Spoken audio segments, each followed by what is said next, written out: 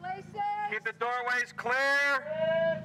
Let's roll, please. Rolling. Rolling, going. Ready? And fire. Fire coming up. And background Speed. action. Action, action.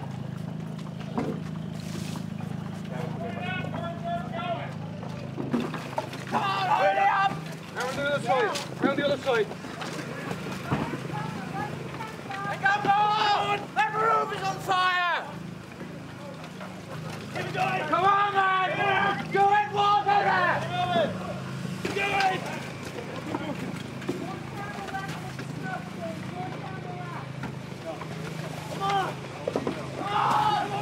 One left, one left, Gavin. Go, go. Come on! Come on!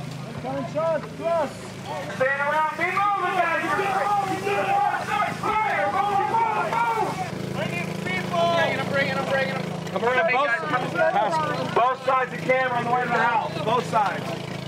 Good job, guys. Good job. Terry is an interesting director. He's one of the few directors that doesn't look at drawings. He just says, whatever you build, you know, I'll just shoot. I'll come in like a documentary crew. I'll shoot it. I mean, he doesn't really understand just shooting a bit of a set or a wall or one direction. And he changes his direction as the sun changes, always keeping everything backlit. So I, I needed to create an environment where he could move around and, and work in the style that he likes to work. Okay, show me. Oh, yes. The pipe out of the way. And you get stuff flying around in there. Ready? Yeah, four. You get completely inside the window. Uh, yes. Steve, you don't want to use this monitor? You you uh, check me, no? Here. I got you, I got you, I got you. Collapses, let me know. So you want to roll? Dude, the structure, if you can get any lower and up. at it, Okay, and Oh yeah, and then pan up to the chimney. roll it. Speed.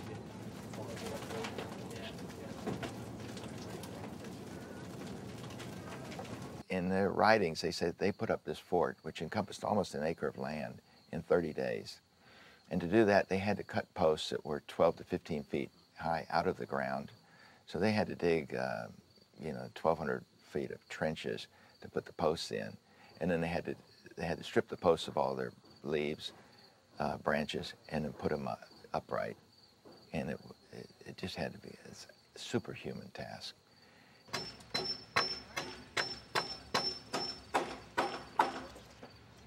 We built the fort out of local materials so that the clay and the wattle and daub looked right. A lot of it because I wanted to see how how it would work. There's no hinges on them. How are they, uh, They, they got wooden, wooden pins carved in the top and the bottom. And we mortised out a, uh, you know, a little hole at the top and then dropped that down on it. And they actually work really well. And it, you know, it's like they didn't need anything. heavy? It's great. 800 pounds each. We're building everything real so that Terry has the freedom to shoot anywhere, inside a building, outside a building. If a building gets knocked down, it'll look real. You don't see two by fours or one by threes or anything. I think it was tough for people at the beginning. I mean, I think their instinct is to want to go to exactly the way they know how to build things, and Jack Jack didn't let up. and I think um, that was tough in the beginning for people. But I think as it went up, they all saw what it was you were actually getting.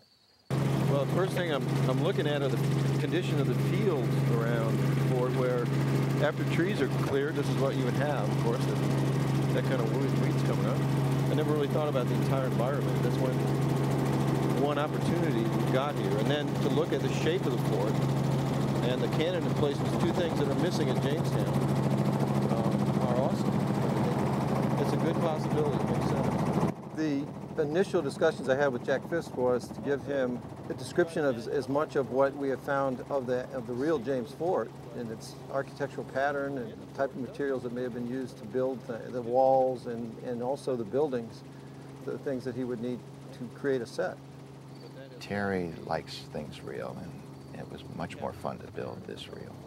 And I, I think we've kept the archaeologists more interested because they've they've got to see buildings that they imagined, you know, built three dimensionally. Ah, it smells good.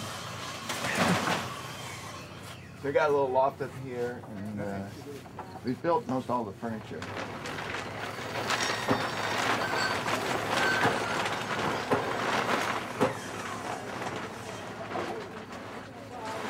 It's so neat, you know, to see it. I wish. it's true. Yeah, I wish we could transplant it over. Because it's very, it, you know, that's one of our very difficult thing about archaeology is that you know, we know what we're seeing from these patches of dirt in the ground, you know, the colored dirt, but it's really hard to explain to the visitor, you know, what that represents. Um, it's hard to imagine unless you have something like this that you can walk through. What this captured is is the is the essence of what it was like to be in James Fort. In my own mind's eye, I would I would this captures that feeling completely. Uh, that it, it was crowded.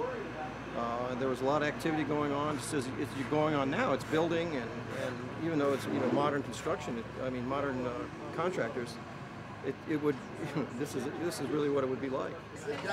We probably have hundred people in here. That's about the you know about how many people were, uh, actually were in the fort and, and building everything.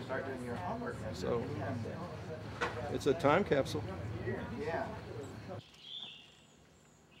did take a big dive down there, didn't it?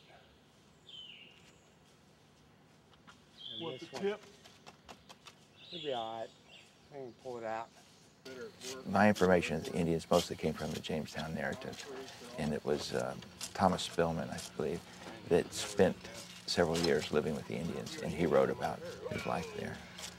And then some of it is from uh, records of excavations that they've had in the area. They've been able to find holes in the ground that show the outline of the houses. It's different from what we saw recorded by John White in North Carolina, and we use that to uh, fashion our main villages. Unlike the white drawings, which are shown as flat-ended buildings, they actually are finding they were, they were all round shape, which we have done, because they actually stand up better than the, than the flat-ended ones. We're stripping down these logs using these draw knives, uh, taking the bark off them to make the uprights that will become uh, Powhatan's uh, house, as far as I know. Basically, what we're having to do is this area up here, you can see where my hand is, where the poles are attached to the top of the hut. This is basically now the ground. Whereas you can see how we put, how we put the poles in the ground on the other huts. Well, what we're in fact doing is building a hut now up on top of this structure.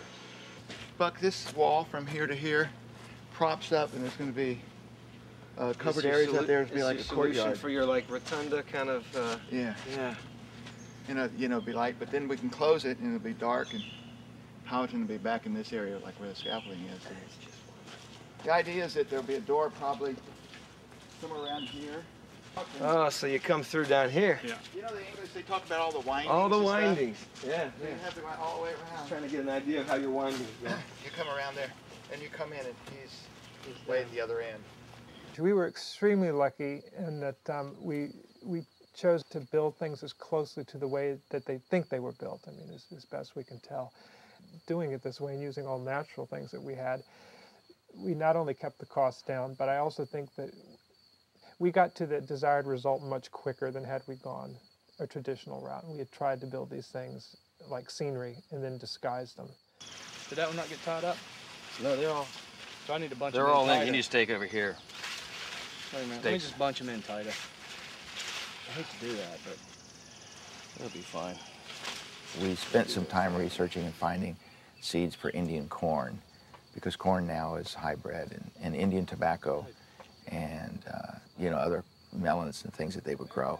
And we were able to obtain some of those seeds and, and plant our fields. We planted about a three acre field for the main garden at Werowocomoco. we're weeding as much as possible, but trying to do it thinking that it would be like the Indians would do it. You would do the bare minimum to as much as you could to have your crop come up without, you know, these guys are it was pre-iron tools at this point. So they're out here with, you know, I don't know what they use. Sticks, bone scrapers. So you're not going to get everything out of here. We invited the chiefs and assistant chiefs and- representatives of all the native tribes in Virginia to come and see what we were doing and participate as much as they liked. And um, we had wonderful, wonderful participation from several of them. In April of 2004, late April, mid-April to, to early May, uh, I became aware uh, that, that there would be a film production company in Virginia and they would be filming a, a production-length movie called The New World. my initial reaction to the term New World was, was one of, hey, what's new about it? We've been here 15,000 years. And, and it really rubbed me wrong that the title for this movie would be New World. So it started out on the wrong foot. I did, in fact, talk with, uh, with Terry Malick, and he said, I think you'll be pleased with the twist that we put on the title, New World. As the story has developed from something out of history and something that's been told over and over again and and told incorrectly in some people's eyes.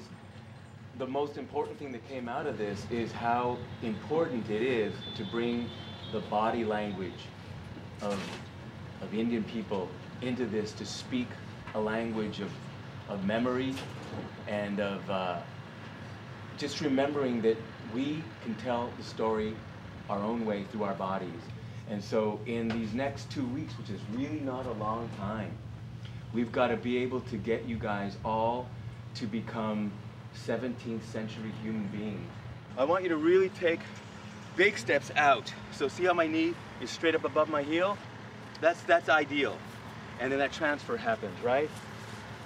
Yeah? And your, your foot's aiming forward. All the weight is all in the hamstrings and your butt.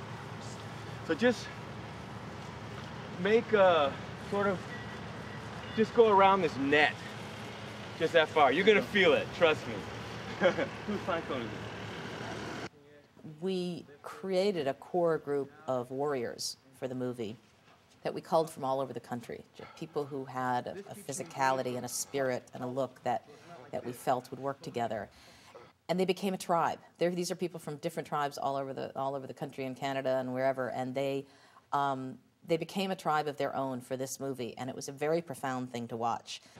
What Terry wants to see more than anything else is that as we see everybody in the canoes, walking through the woods, whatever else. What separates you guys from the English is that you people are in complete harmony with the earth and the universe and everything that exists. I've been working with the guys to get to the core of their their instinctive knowledge about bringing in, you know, a totemic animal into the way they move, into the sounds that they make. Go for it. Just yeah, dude.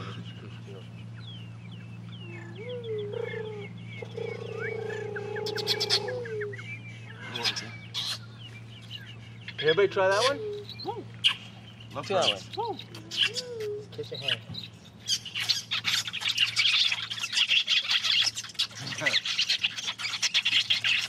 nice one, eh? We're gonna work on these ones today.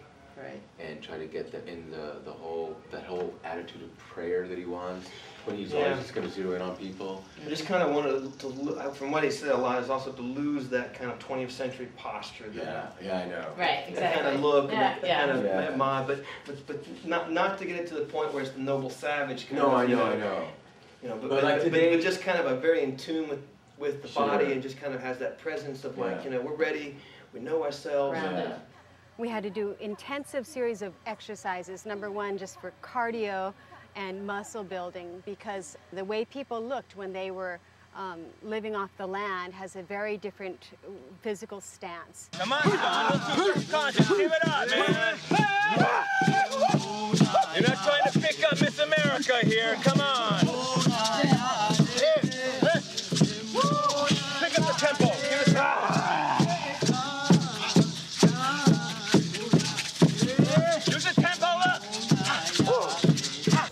Was having us do all these crazy things like take a tennis ball, go through our legs, walk toe to heel, and you don't really know how effective that's going to be till you actually come out here and you're actually in the woods walking like that, and you see all that balance where it all comes into play.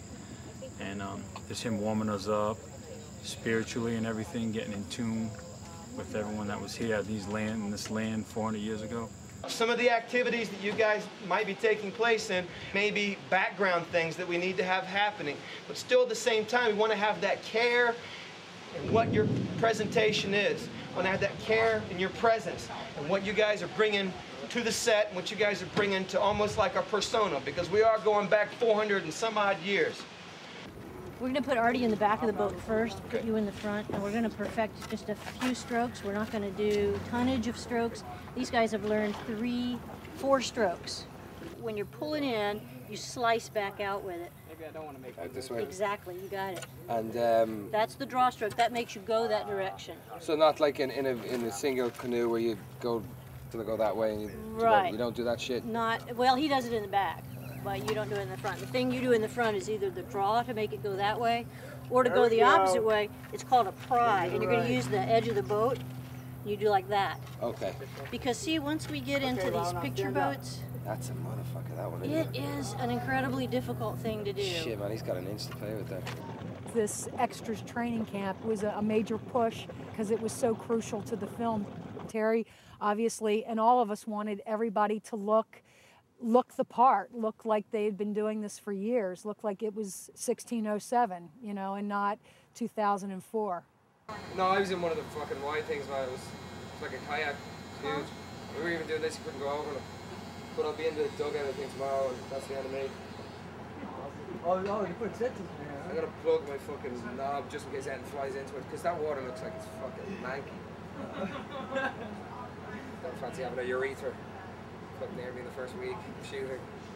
It's going to be particularly difficult out here because it's going to be hot, it's going to be nasty, you're going to be covered with mud. It's not going to be pleasant. The working conditions are not going to be pleasant. You're going to be working real hard. And the temperature's going to be way up there. Open your pan, crossed here. Don't rest it on your hip. That aims it into your face. Okay? Grip it right about here with this hand.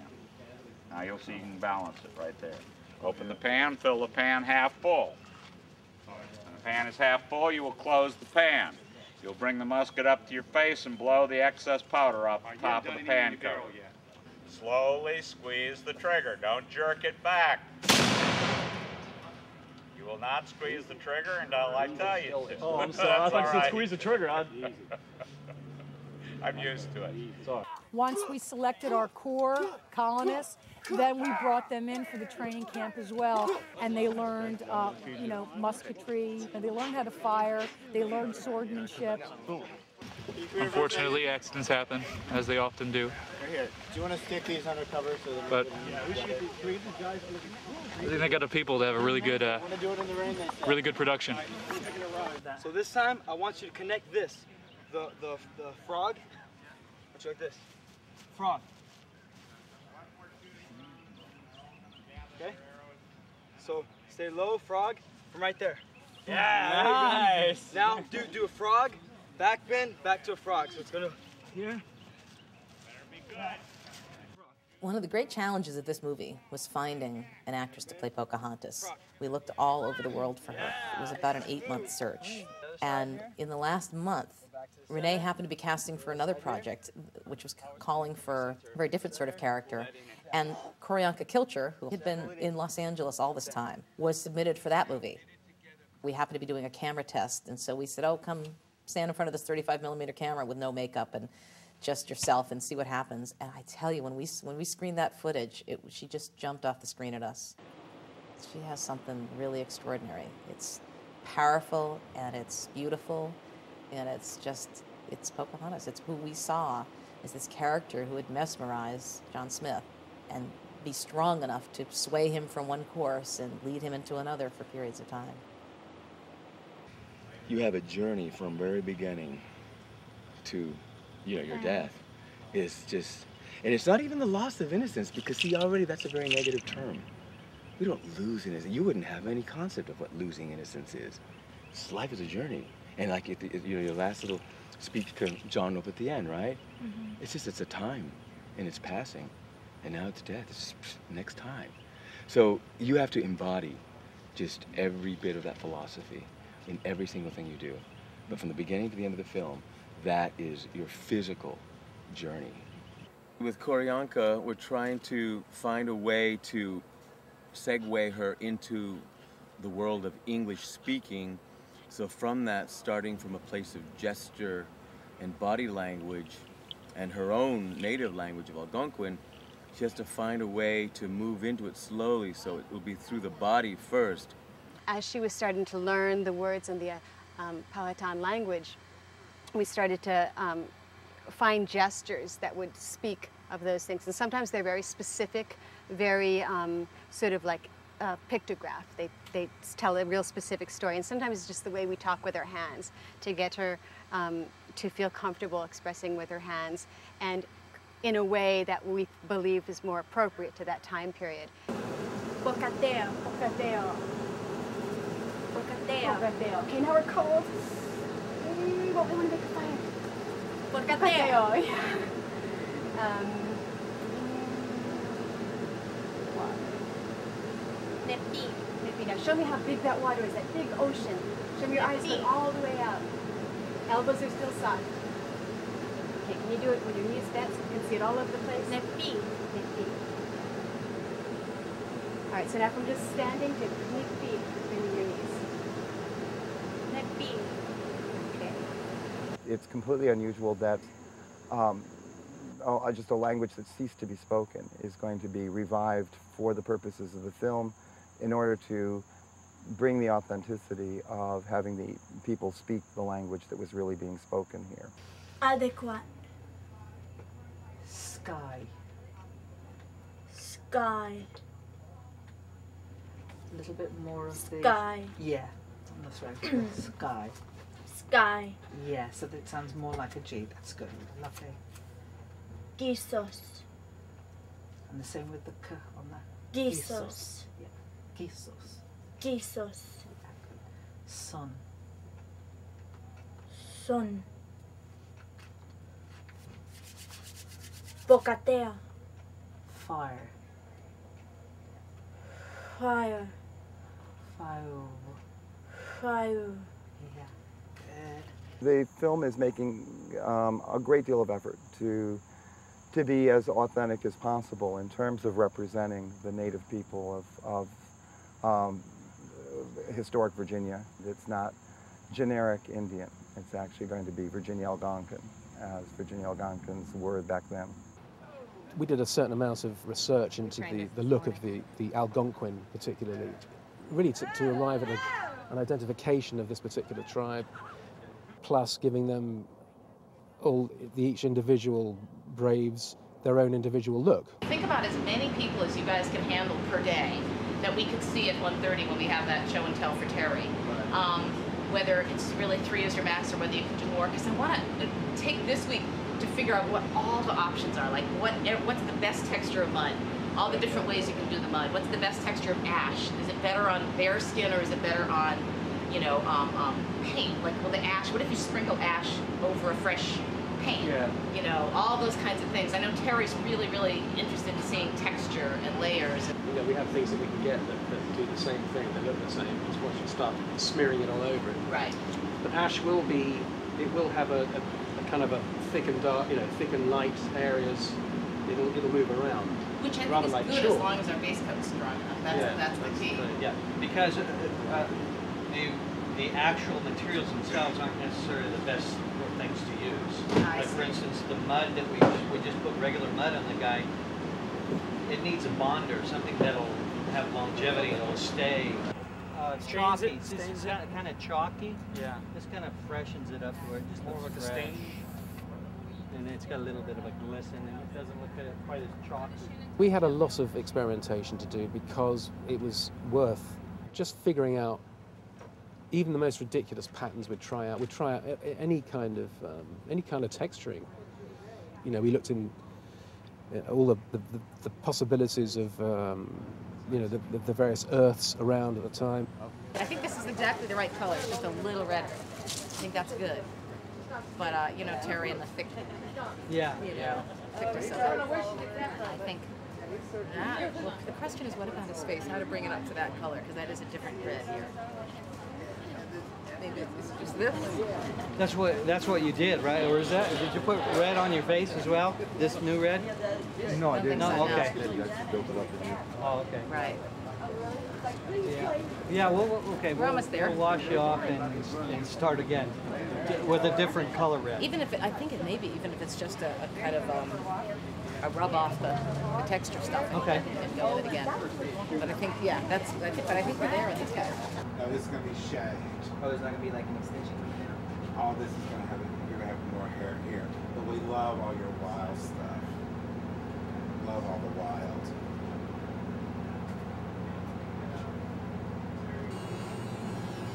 The Powhatan Indians of that day shaved one half their head right down the middle and would take off the whole side of it. Besides being a style that, you know, became just part of their tribal look, it had a very, very practical application. So I, being right-handed, would shave the right-hand side of my head so that when I shot my bow and arrow, it wouldn't ever interfere with my long hair. I had a hair issue, and I didn't, I didn't want I didn't want to cut my hair because uh, from my tribe and our beliefs, you know, we only cut our hair when someone close to us dies, and I kind of had to do some soul searching about it, but I had to realize who I was representing here, and it does the Algonquin people and the Pamunkeys, it does them justice, you know, for, for me to have to have cut my hair this way, and it's kind of like a tribute to them, you know, 500 years later, 400 years later. Okay, step forward again. We're doing the reverse of your close-up. Right. So if you There. stand up right there, the ships will be coming towards you, and Jimmy will perform an acrobatic move to save the shot.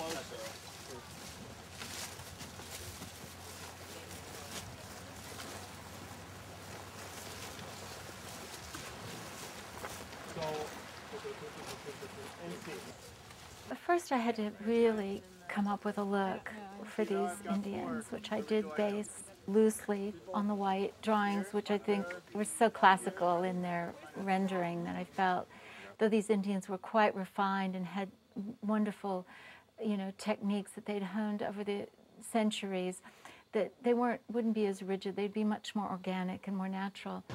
Mainly what we did is tried to use the skin in the most natural way possible without using a lot of fringe because I knew that we were going to be a bit fringe phobic. And so we tried to use actually use the use the holes for Yeah. her. Yeah, that's great. In, I in a that. nice way. Um, this, you know, this is like feathers, be you know, her Mhm. pearls. Mhm. Um, then do breech cloths for her, where we actually sewed some shells and things Into into, the the, holes, holes. yeah. We used 30,000 Marginella shells on Powhatan's Cape and did it just the way they would have done it then. We tried to be respectful of not only their process, but their respect for animals and nature, and that all of their costumes were tributes to animals. I was very honored in June to be invited to a meeting with the production staff uh, and other chiefs in, in Virginia to meet with the production staff to simply review what the movie was going to be about and how it was going to be presented. And, and during our discussions, they expressed some concern to me that they were having difficulty finding wild turkey feathers and deer antlers for the purposes of costume construction. Um, Fortunately for me, I have a lot of friends that are very good hunters, and at that time I had, oh, about 12 boxes of wild turkey feathers and 60 to 70 sets of antlers in my shed. Uh, Jackie so impressed me with the research and the honesty that she was attempting to portray our people that I offered to give them to her uh, so that the costumes could be as authentic as possible uh, to ensure that our people would be accurately represented. Now Smith had, had fought in the wars in Turkey, and, and stuff. So one of the researches is you know that he used the falchion a lot, which is the the, the, the thicker. Yeah, I love that blade. And Terry had talked about possibly instead of you carrying this the whole time, of coming out at the battle. You know when they the Indians are in the field, Yeah. that you just you know you're you're going to war, and this is the weapon you have. This is just a prototype. The the finished one's not done yet. Is a portalone, which is is going to be your own little notebook where you, you store your papers in here in the folded section over here. And then this will be sketches and so on. yeah, this is a little pencil here that's actually just graphite. And that's how they did it. They would wrap them in string like that. We're just on the cusp of the indu- industrial revolution here, so things were, were very much, uh, you know, all furniture and that were individually made and handmade with certain tools. But I mean, we, we, we, we were not yet into industrial age. It's just a, a shoe for a wooden shovel, a metal shoe for a wooden shovel, and I'm going to put some copper rivets to hold it on. It's got a sharp edge. They mainly just shovel in sand, but but uh, when it wears out, they just can just replace the, um, the metal. They found bits of this in the well at Jamestown. Not bits, but the whole shoe. Can we actually cover this with a piece of leather. you know, Yeah. all the way over. Yeah, now fold- see it's good because I can stitch to either side of it now that I have this to go to. Kind Okay. Of, you know? That, I was I was also thinking that maybe a, a solid band over there. I there. can do that too because and now then I can these come just along. poke through the band. See. Okay. The items for the native cultures and that uh, we literally made each one. All the bows are made, all the quivers are made, all the arrows are all handmade. There's nothing um, in, the, in the native culture that we can really kind of you know buy off the shelf. Started out just with a piece of split bone. Split it down the middle. They just break it, and make it split, and then sharpen the edges, make a knife out of it. Be a tool. I just show you right over here. From this to that. Obviously it works. If it'll stick through that piece of cardboard, it'll darn sure stick through you. You know, so much was lost of that culture. You have to kind of fill in a lot of blanks. But then the blanks are not that big actually because because you, have the elements. You, you know, what did they have? They had leather, they had feathers, they had uh, stone, and they had wood. You know, and so you work with those materials, and they and and they demand their own realization.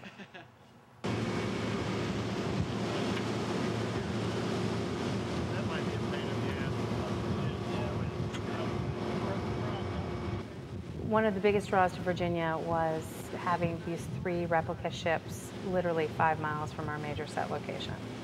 They were the, the three ships, the Susan Constant, the Godspeed, and the Discovery. And they're part of a museum called the Jamestown Settlement, which is run by the Jamestown Yorktown Foundation. The ships are all anchored at Jamestown, uh, or tied up at the pier at Jamestown for um, the vi- all the visitors and tourist kind of things. We're all volunteers. All of us come in, some people from far away. Uh, Doug comes all the way from North Carolina, and other folks even uh, even further to, to volunteer on these ships, really to to Help just maintain help maintain them. Uh, this is the glamorous part, uh, believe it or not. In the wintertime, there's painting, scraping, uh, a lot of cleaning up. So it's not all uh, it's not all movies. I really don't want much contrast. So if it's in, like if you squint or do a black and white picture, I like them to look, I look like one color. to disappear. I want, I want this line to disappear so you don't really, so this is the same value as this, but just different color. Okay. So it's pretty dark. Yeah. The ships, as they sit in uh, Jamestown, are very brightly colored. There's a lot of white on them, and they didn't look used. So we put some effort into uh, aging them down and making them look uh, more to what I thought ships of the period would look like. Uh, I have to ask you a big favor to um, to check, be responsible in your own boat, uh, to be sure that there's nothing like a water bottle in because I have a crane and we might go up and down and start shooting. It's very hard to see in the monitor. Okay. Uh, the image is this small, so I cannot see water bottles and things like that, and then they appear on days. The scene today is the, the first arrival. Uh, we'll be taking some of the, uh, the colonists from the Godspeed, rowing ashore, and uh, I believe Newport is going to have the first words uh, to, to announce our new arrival in the New World. So it should be a good day. Looking forward to it. As soon as I feel you want to go. Yeah.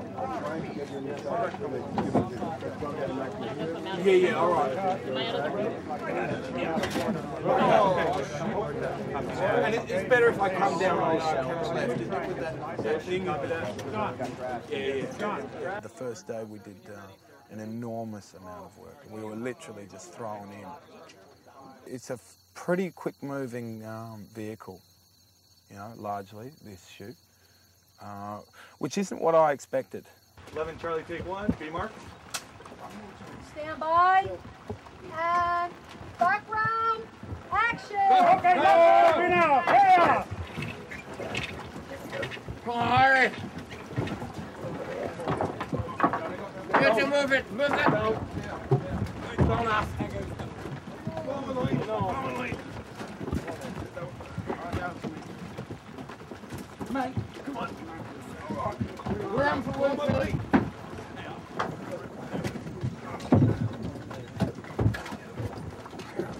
Derek, five feet away. Yep. Get down to us.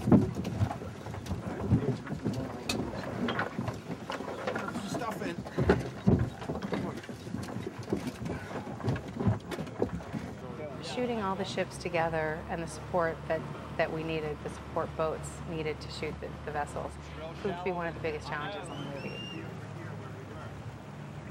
Can you get one or two shots off safely? Yeah, yeah, yeah. Great. Just go in front of Yeah, the if I got camera, cover some, guys. I can get this out. Do me a favor, go in front of the camera and stay there as the, as the boats go. Just Pete, react to the need to come in more. Hold on, guys, Hold the we got shot. waves Hold the shot. This is good. This is good. Waves coming. This is good. Hold the shot. trying. Guys, disappear. Go backwards. Go backwards. Corey, clear the frame. Clear out of the shot. Closer to the camera. Closer to the camera. Come back this way, guys. You wanna to the camera. Stay here.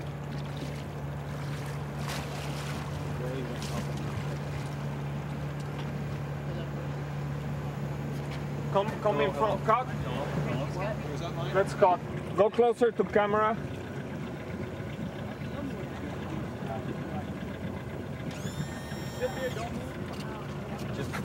Yeah.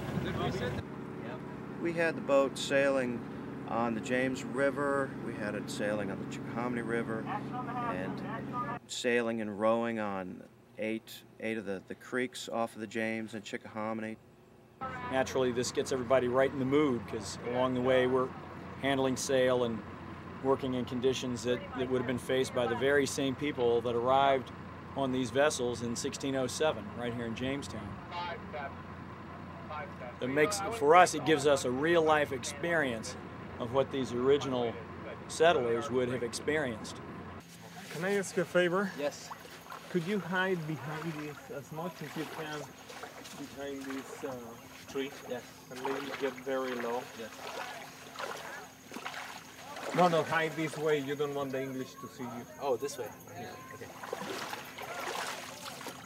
Let's go closer to the. Go clo- get closer. Get closer. Somewhere in there. And now get get very get small. Forget about this thing. Yeah, like that, like that. That's very cool. Okay. Uh, Zimmerman, pass me the camera. Getting three ships in a narrow river, river positioned properly and get all the support ships out of the way really proved to be a challenge. Can they move that boat away? Uh, I will check. They're But positioning for the shot up top. Yeah, why is that that little boat has to be there? The tiny fucking boat. Okay. If it's not working, they should be out because second unit can be shooting here a masterpiece, but you're not allowing us. I will work on it. Can we roll? Get the boat out of position. 11 and a half. You guys come in sooner. Roll. Okay. And And- camera. Go, guys. That's beautiful. That's it. I love that. Disappear, guys. Okay, let's do one with l- less chaotic. A little more, but nicer moves. A ballet. Jimmy, let's go again through this. I thought that had moments of ecstasy. Yeah, but more less ecstasy, more, more exquisite. go through these trees, don't pan that way. Okay, fine. Okay, roll it. Rolling. Rolling now. Here we go. Yeah. And action. Closer to the camera, somebody, guys. Let me come in. Disappear. Let's do it again, let's do it again, let's do it again. This is the moment, this is the moment. Back up. Okay. Z axis, Jimmy, don't, don't do the German thing. Let's go. yes. And roll it. Boy, you are, now you are Guys, yeah. Roll it. Yes. Action. Like that? Nobody's safe. No, lower. We're too high. Down. Across the tree. Disappear. There, guys. That was the best! Okay, let's do one more. You have to be lower. That's the trick.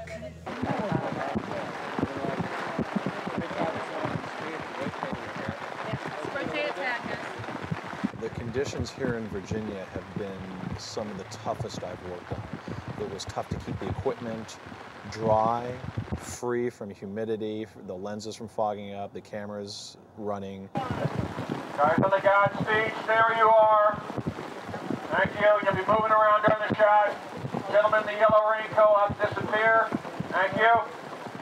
The rain would come and hit us in an instant.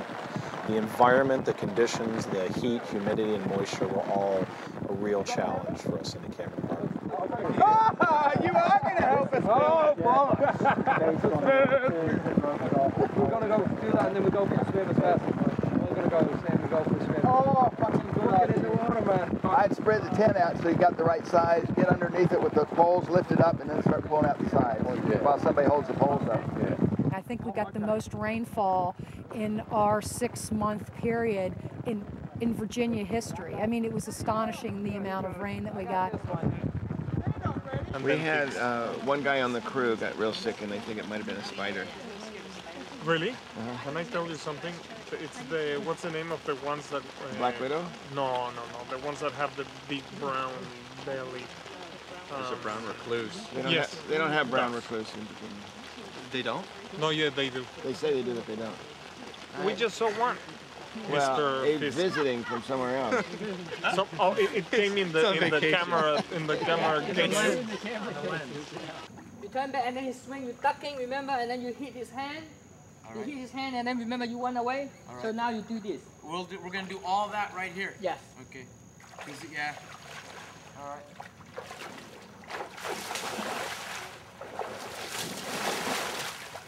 All right. You good? Yeah. Okay. So wait for. Yeah, and then, and then we cut. We cut. Okay, I'll start from right here. So it'd probably be a good idea if he. If he stops here, because No, there's a platform. stop right here. This is the smart. You will be right here. Stop. Just You're float it off. right- Yeah. We're working on the John Smith who coming to uh, try to go to find uh, Indian the camp, the uh, the village for Indian, and uh, this is the second fight scene, and he got captured by the Indian.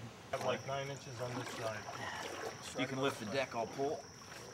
We build up the platform under the water because the water, at the daytime maybe on your knee, maybe night time is already over your head. So we need to build build two platforms to try to fit the water level. Being the walkway right now, you see, you know, the ladder over there is the, you know, we're trying to make, you know, the level up, you know, the water and the soil, you know, uh, we, so that people can really run over and then we really can fight on top of the water, but look like we're on on top the, you know, the, the whole bar. Yeah. like. Hoo-hoo-hoo-y. Yeah, you Yeah. The smell in this area is pronounced. No, it's nothing like where I was earlier today over there. The scenes I've been called in the first time fight with the Indian, so very interesting. And they, they come out just like ghosts, you know, they running fast, they jump out from the tree. Basically, it's a real like uh, dark, uh, eerie uh, atmosphere that we get to come out of and portray. You know, warriors. You know, attacking John Smith. You know, I think just from watching, everybody's really learning fast and putting everything they can into it, you know, 110%, and that's what it takes. As far as the, the warriors, the Algonquin, Powhatan warriors, you know, that's how we want to, we want people to see, you know, when they watch this film, that man, these guys, they went all out, you know, they, they brought it, you know, to this movie. You know, they just came with everything that they had. Rolling, rolling. 3600, take 40 mark. Speeding Derek? C mark. And action!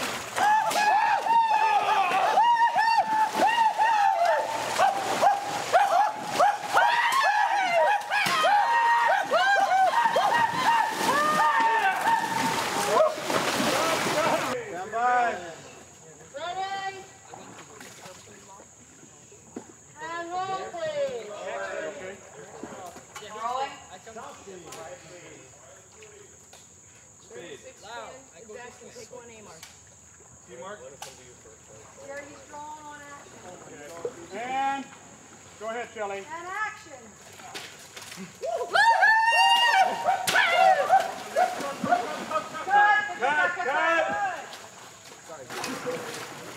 At the time of the English arrival, most of our people were farmers and fishermen because we did live on the, the river and we did farm the land.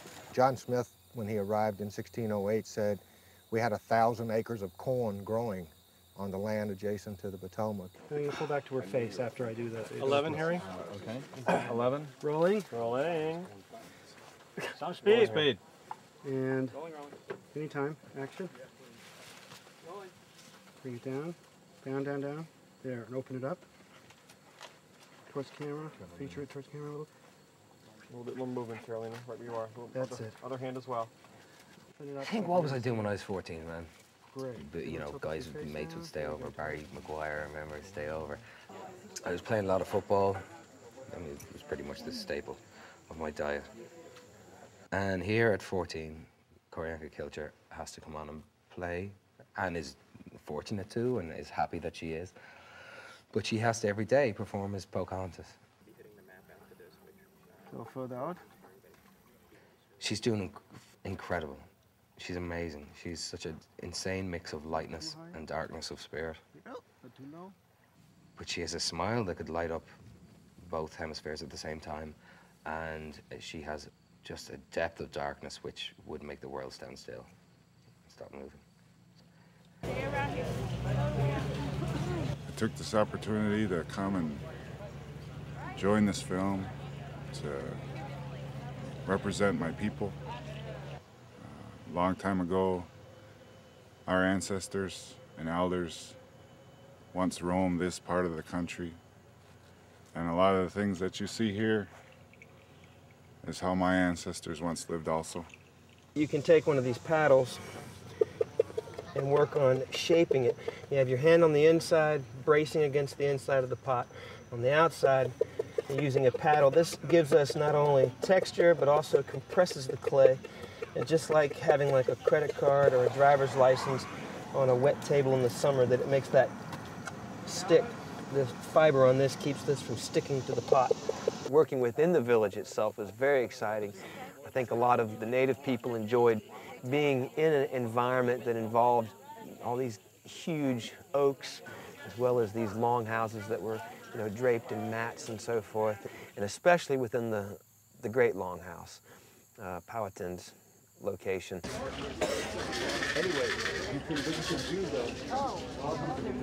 The interesting thing about this scene coming up is it is recorded from John Smith's memoirs, and it's very, very, very specific. You know, stones being brought in, head laid down, clubs being lowered as if to crush him, and you know, absolute fear, and the idea that he he landed himself in hell.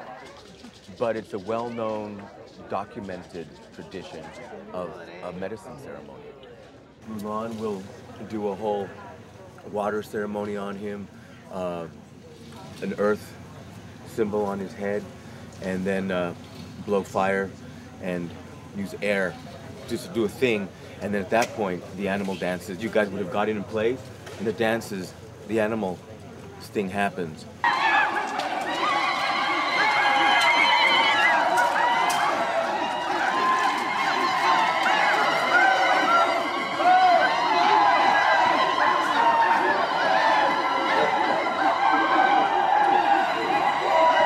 what Terry and I talked about early on in you know the beginning of our collaboration is that he would bring the European white man perspective of this history from their retelling, but we will simultaneously be telling a story reenacted through these ceremonies, through these dances, but from an Indian worldview.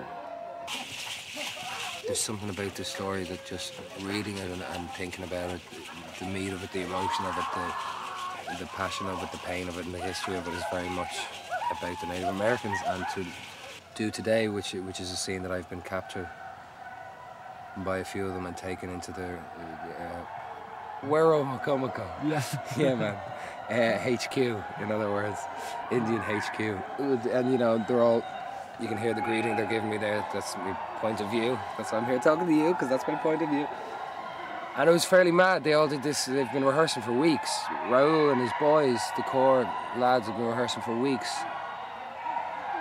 doing these dances where they inhabit different characters, different animals, wolves, snakes. Raul, I think, was doing a chicken, and fuck me, man, they were in it. They were so in it. It was it was fun. It's like having this snake and, and uh, you know going into you know animal style. You know I got to get wild. You know have the uh, actual snake skin on me. You know get to get wild. You know and kind of it through, you know, and it was good. And uh, it's tiring, but it was good. This right here, this is called uh, uh, Tiro, Chitto Harjo. My uh, great great grandfather's name was Crazy Snake, so I wear this in honor of him, Semino, Mado.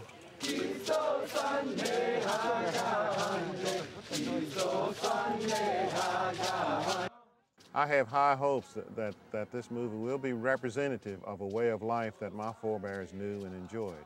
I hope it will kind of telegraph to the world the, the kind of injustices that, that my people faced.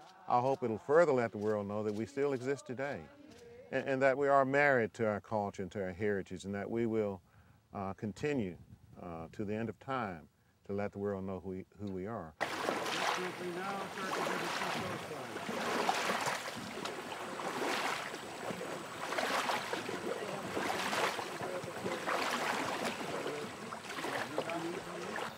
realizing who you are and where you come from and where your your people come from takes a big step but even being thrown into a situation where you are, are dressed in a similar fashion and you're walking around a village that looks the same you just can't help but getting thrown back and just realizing what a great life it was and the the guys that I was with the the core guys just the way that they interacted the songs that they sang um, just really felt like there was a part of my life missing. You know, when I didn't, when they were singing and I didn't know the words, and it just made me really, really, really want to be a part of that even more.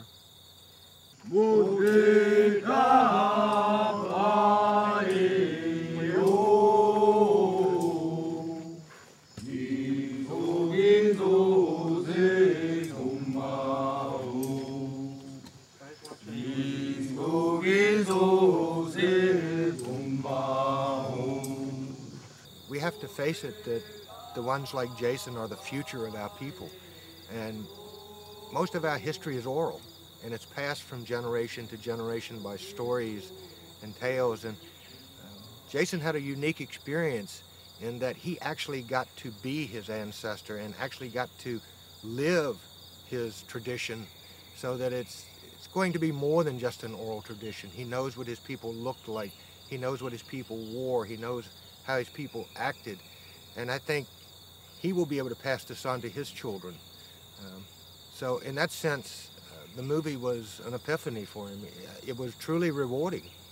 And, and I'm hopeful that he will continue on now with his professed interest in learning more and more about the Potomacs and the Powhatan people in general.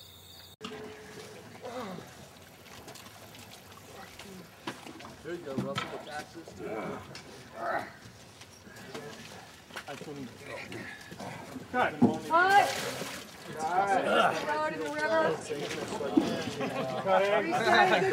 Good job, guys.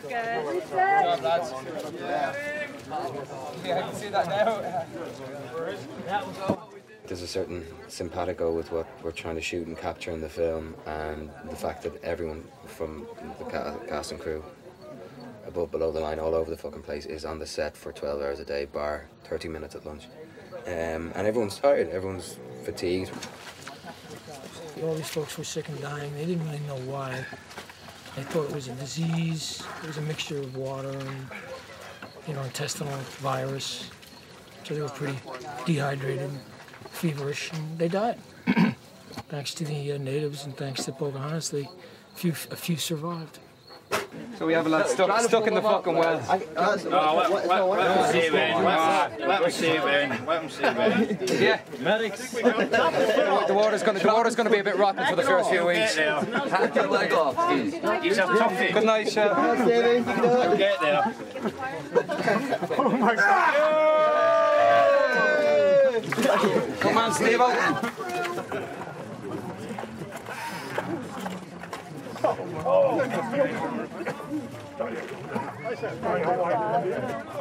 When the crew gets out of the way and you see just the cast who looked into the fort here, you kind of have to pinch yourself and you go, wow, this is what it actually looked like. And these are the conditions these people came. What a ludicrous idea it was to come over here. Or what sort of, you know, I mean, what did you expect that this, for in 400 years, America is now what it is? You know, that whole notion of discovery and taking risks to go into really the unknown. There aren't many places left where men go into the unknown. I mean, for themselves. You realize how these people really suffered and what they really went through. And we get really lucky, we get to be the ones to tell their story. So it's feels like you're not just doing a movie, you're doing part of history. We get to see things, do things that probably only they did. I guess, like he was saying, it's just being able to see it almost through their eyes.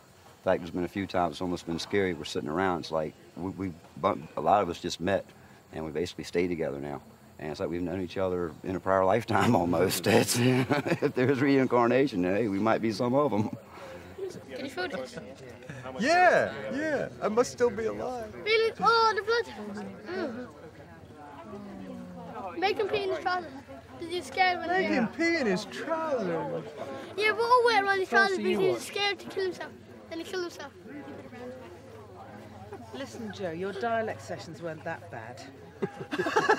But it was that one word I couldn't get. Dead. You didn't have to do that. couldn't that. say dead.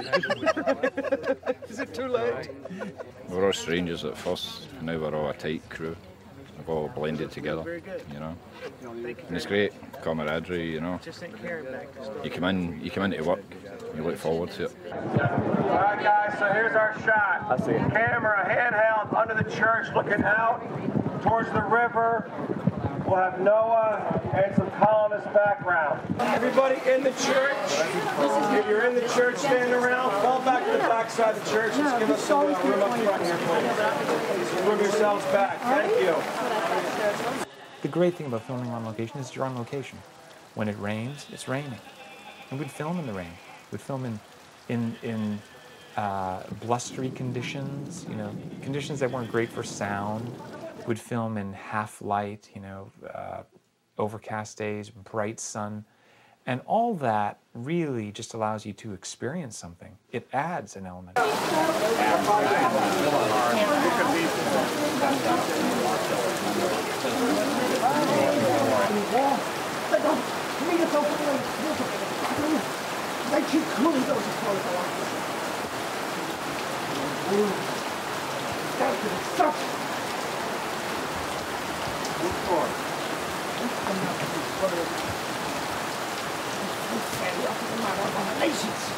They're thieves and murderers. They do their acts on the skeleton of the fighting wars. They don't have their own way on the field to us battle. Cruelly those in front of their hands. Their wolves need to be done for themselves. It's vital to, to recreate uh, as similar conditions as you can. Otherwise, it is about artifice and makeup and, uh, you know, lighting effects and things like that. I mean, I love the fact that Terry doesn't use lights. You know, the mere fact that there aren't sort of cables and lights all around the place creates a very solid reality that affects all the people working. The challenge of the fort was that the fort had to be in, built in many different phases because it, you know, when they first land, it needs to look like there's nothing, and then obviously we need to build it up, build it up, build it up. We're changing the fort over right now from between the um, the battle scene and the starving time up to the more prosperous rebuilding when Newport comes back. So we've added two new houses and some extra structures, and we're going. We've updated some, like the church. Mostly it's just to show a progression of time, and also um, the colonist ability and and and uh, kind of the wealth that's coming slowly, but. Uh, bit by bit try to make it show a, a passage of time. This is the brown mud that we use for the wattle and daub like you see on all the buildings. And during the fire, this is kind of what it looked like. But then when the heat of the fire turned it bright red.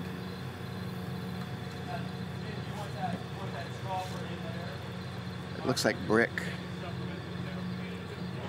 We sent some of this to Jamestown, the APVA, because they're, they found pieces similar to this in their excavations and they wanted to see how this compared to what they had.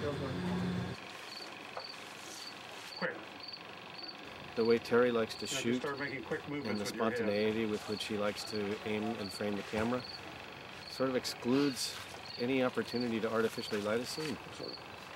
Um, it was more about keeping the, the lighting equipment out of the shot than to actually use it to light the shot. Jack, can I say something? Just that, you see, right there.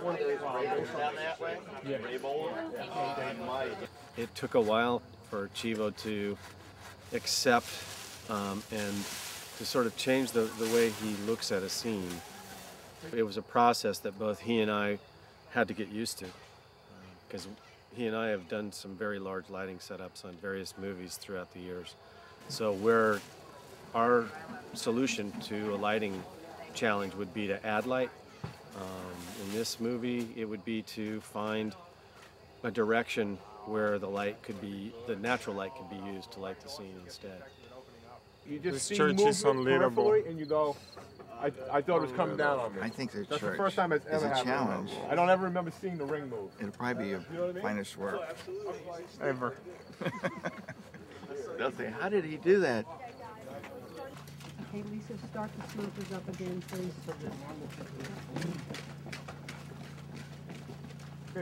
Lisa, start the smokers. Okay. It was amazing for me to really see the changes and go through the changes from just being in the in the forest, the carefree life, just listening to birds swimming in the river, just really really happy and being really confused and having having all these things happening around me and then going through all these different ups and downs and then finally, on the end, becoming at peace with everything. After I've gone through all these things and I live a totally different life and have a son and a husband. She, she's looking camera left. Camera left.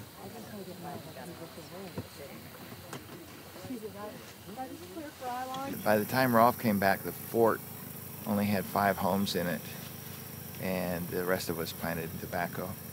And they started taking land from the Indians, planted land from the Indians, and and uh, burning their crops and putting in tobacco and burning their houses. And it's because of tobacco that the Indians were really moved out of Virginia.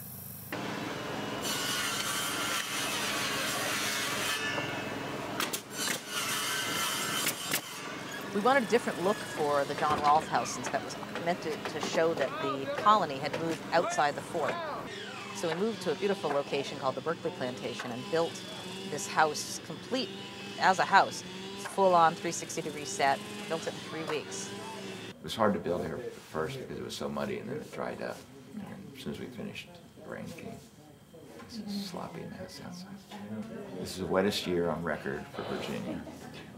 And we're here. And we're here, but it's great because otherwise it's been just dry and, and awful, dusty. And we've had very little dust and we've had uh, the grass to stay green longer. And the mud is so real, it's become like a, an element of the film. Our locations, for obvious reasons, were in remote areas along the river, and so to respect the integrity of the, the sets themselves, you know, the trucks weren't really nearby, so it was a matter of muling or, or vanning the equipment in. We want a place to get them away and. I just don't want them in here. Well, we don't have to hide them. I mean, it, just somewhere up there. There's a where place. they can There's a path we can walk down the path, and it's a place where we're going to shoot later. But it's a it's a it's a little crop circle that they can hang out at, and it's far away from the games. Okay, so I guess we're gonna go that I'll away. show you what- Yeah, we can't cut across this here, so we have to go up and try to avoid planks. They're not gonna walk on those planks, eh, Bubba? Will they walk on the planks? No. No. So we're just gonna go up, cut where the planks are, and They- some they of would them- walk on the planks, but They'll get, Yeah, they'll they'll get their foot hung between them, and then what am I going to do? So, so we'll just start walking this away, yeah? Well, then they'll then we'll have to go to the corner. Uh, uh, I'm gonna go scout. Okay. this is Christopher Farr. Hello. Hang on. Here we go. Lucas? Oh, can we have, can we put the baby the other Flip- way flip- around? Let's flip the baby. Yeah, if you- you can, you on your, flip on your them. left shoulder. Melissa, you can come right on in here to watch behind camera. We'll leave the plastic in for a second. Yeah, until we're ready to go. Okay, here we go. Get it really, really quiet. I think we got that very beautiful shot of the baby here. Is she okay? Or is she? Oh no, she's good. She's fine. You want to go higher if you the. Like His vision seems to be a very romantic one of, uh, of the early beginnings of America and the discovery of the land. To him, it's a dream, and um, he's, he, I think that's a, a wonderful way of, of presenting it. It's one man's uh, uh, vision of it, um, and he sees it, I think he sees it uh, as a dream. Catherine's here and Janine is anxiously waiting. On my very first day, I was actually, you know, doing a scene, and then uh, my understanding was that they were shooting the other actor doing a close-up, and I wasn't needed for it. And so I just went. I stayed on the set, but I was just sitting on the side, and I was smoking the pipe that John Rolfe smokes, and and then I suddenly realized that the camera was pointed at me. I'm always terrified that when he's got that camera on his shoulders, he's going to follow me into the toilet. He's got, I mean, he never stops. It's like some sort of great bird of prey on his shoulders that's driving him on. It's saying, no, no, don't ever put me down. You've got to get everything. that's- I don't know how the editors are going to watch all this material. They're coming this week. The editors? For what? They tell you to stop shooting too much. How much film are they shooting? a million feet or something, I believe. So is this? It's a lot of film. Go Red Sox. And uh, it's, uh, I mean, yeah, it is unusual, I guess. We've been on a few films. You have been on a film that's had as much film. Yeah, right? JFK. JFK, right? Yeah, but uh, But this is. it really doesn't matter how much he's shooting. After a while, after you're after you're over half a million feet, That's you're true. off to the races. It requires a lot of time and a lot of focus and concentration to go through all that footage and, you know, try to not lose perspective and uh, get the best pieces out. And, it's always good to have many options and the more footage, the merrier. Oh yeah. Especially with three editors. Uh, but yeah, we're, we're excited. Yeah, it Excited keeps us gainfully employed. Exactly. Terry shoots a lot because I think he's trying to really get into the subconscious of the actors who inhabit these characters. Okay, keep running now. Pop And it he's up trying to camera. find, I think, these keep running, looking for more. kind of movements or postures, uh, expressions um, that the actors can give. Come here. Push him over in the mud. It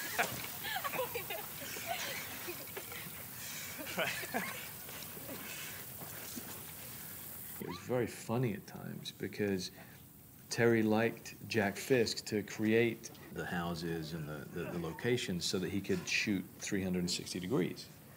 So the crew had to be ready for that as well, because unlike most movies where they absolutely know the camera's locked between these two positions, that's it.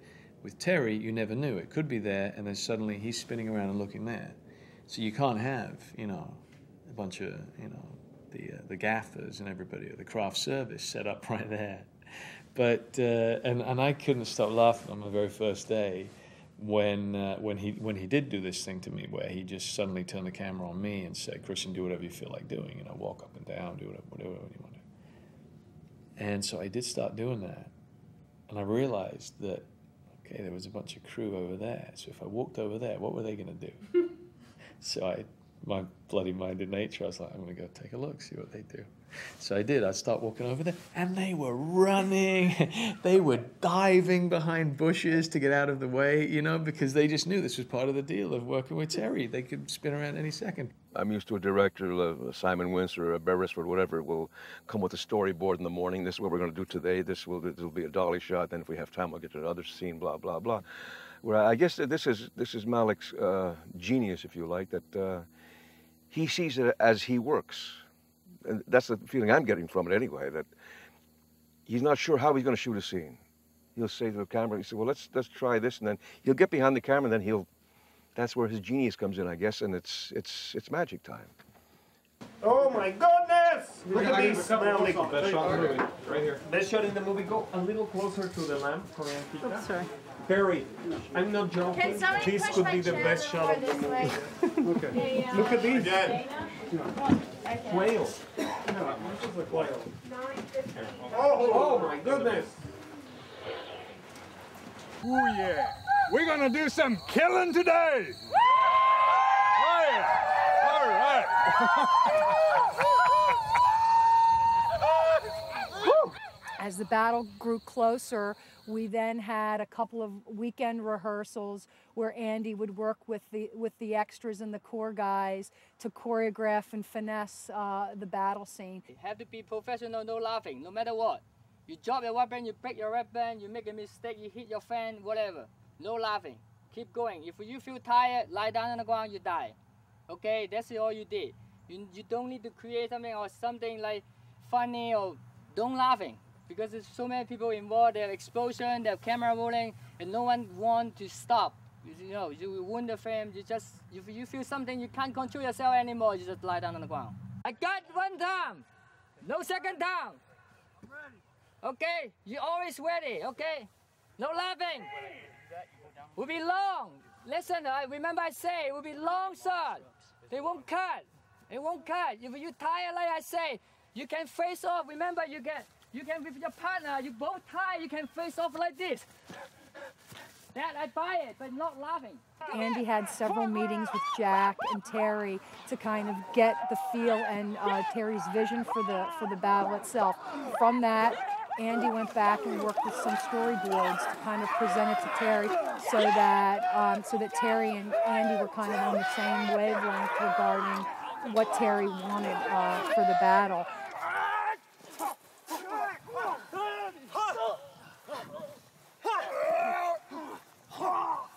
And so then when we got there, it was really basically just a matter of, you know, which way are we looking first, what we want to do first.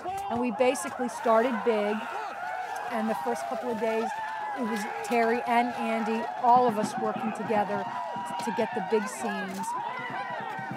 The rehearsals we did um, were basically uh, like fighting techniques. Had four different groups, and each group had uh, different stages uh, that they had to follow, uh, format they had to follow. Uh, in my group, I was number two. Number two is uh, where um, we wrestle to the ground. We do a couple swings, wrestle to the ground, get back up, do swings, wrestle to the ground, and then somebody takes a fall, which means I either kill him, take his own sword, stab him, and come out victorious. And it's very, very, pretty complex. It looks really complex when you go fast. Uh, we try to keep our pace really fast, so it looks uh, tighter. It looks more, uh, a lot of movement, more active. Uh, and that's one thing I noticed with all the all the groups together. You know, is, is whenever it was quick and fast and everybody was going like that, it looked it looked you know real. And that's what we try to do, get as real as real as we can, and that's getting close as we can to hitting them, but not Go, rehearsing. Action. Action. Wait, pass the camera. Go, go, go. All right, sorry. Go, go. Yeah, too, too many. Okay, but that's okay. Keep uh, speed go in. Keep one into it. Step man, go. Back up. You keep back up. Keep move forward. Okay, do it again. Go, go, down, go, go. Blocked out of the way. Forward, go. Check back. We go check back. Chase them. Go. Step back. We check back. Yeah, end up here. When he go here, fight, fight, fight until this Cut guy a come in. rehearsal. He stuck with saw in here. We trap back with him. Go, go, go, go, go. go. You kill this guy, and this guy will run in, in front of your camera.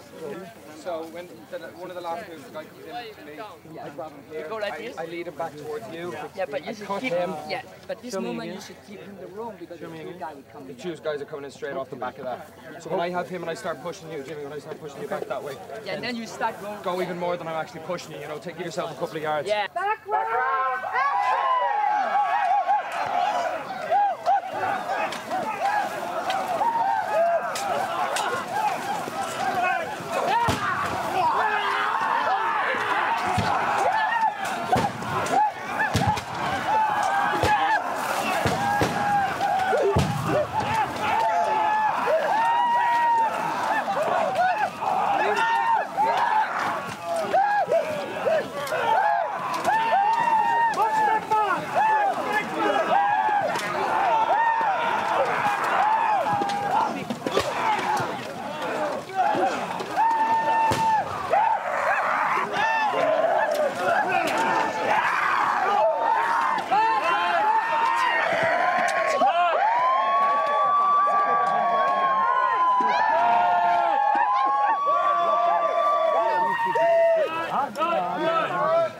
You just walk out of the fort and you feel like you're there. It's very intense, especially the scene we're shooting now, the battle scenes. Everybody's pretty uh, keyed up, and um, safety is always an issue, but uh, everybody seems to be uh, looking out for each other. But it's, it's intense. It's very intense. You know, there's guys up in the towers and they're, you know, packing their guns, packing their rifles and shooting them off and packing them again and putting the gunpowder and packing them and shooting them and cannons are going off and the Indians are fucking screaming and yelping and scalping and, and, and the uh, colonists are, are trying to fight back and there's just blood and a few bits and pieces of guts and, and uh, it's messy. It's messy as it should be.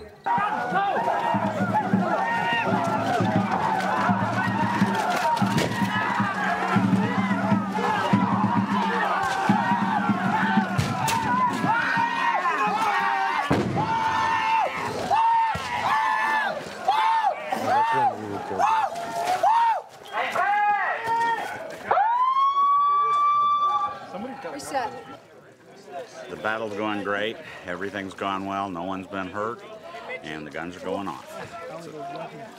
Uh, considering the weather, the weapons are firing magnificently. Normally, these things will not fire in the rain at all. We've been firing with it raining solid and pouring down. We've been making our shots. Let's clear. When the smoke is good, we're going. She's lighting up. Lighten up. Cut the smoke. Cut the smoke. Kill the smoke. Cut the smoke. Let's burn the fort. Don't tell Jack. Let's burn it. We're Come on, Billy. Let's go. Come on. Back here. Back here.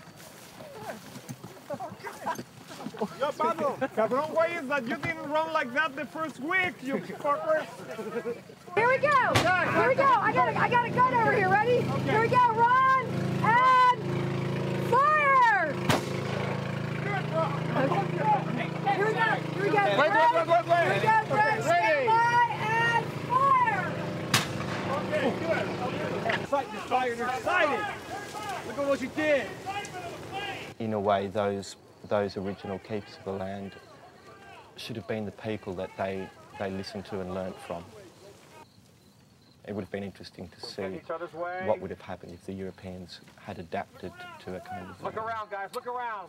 a combination of the two cultures rather than trying to dominate the other and, and impose impose religious beliefs and things like that. And because you know, 200, 300, 400 years later, these these problems still uh, there are still manifestations of these problems existing today.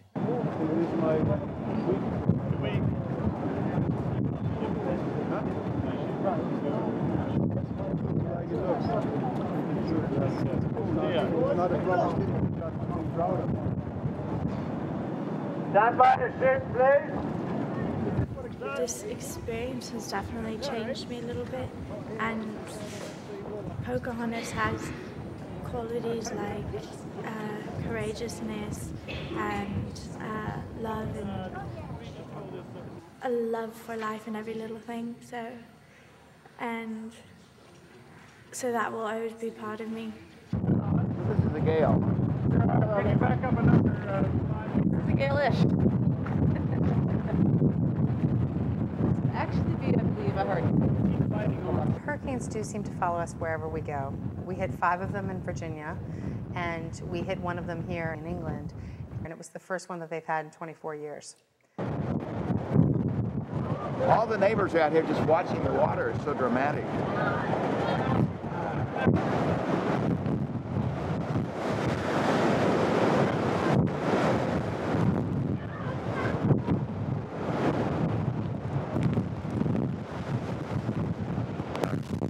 Terry, you didn't bring up you on the river that day. Remember the one? the.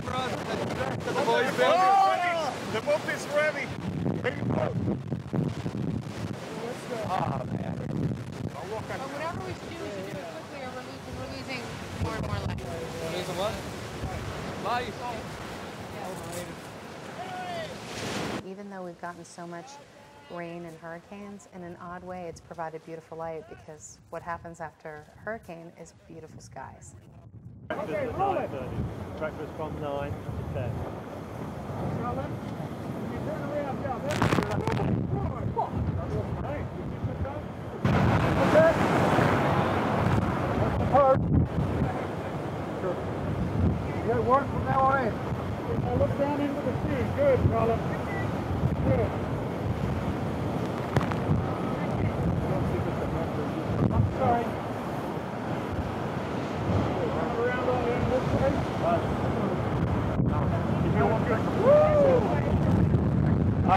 Okay. You still running? Oh my god, I don't know you. Right down. Wait till the hair comes out. Oh Mad, isn't it? What? Crazy, isn't it? The title of this I didn't see my face in so long. documentary is The Death of John Smith. The death of John Smith. Yes, darling. Just giving us a quick. Would you like some help? I find just a bit of a hand. If you could be babe. preparing some, I'm, I'm using acetone because There's glue something remover is I not. prepared earlier. Yeah. I had a blast. Wasn't the easiest time, but it shouldn't. It doesn't have to be easy. It's not about This is being it, easy. isn't it, It's about enjoying it, and I enjoyed it, but it wasn't Yeah. necessarily the easiest. Am I hurting? Um, but it was great, yeah. I'd do it again in a heartbeat. Loved it. 哎。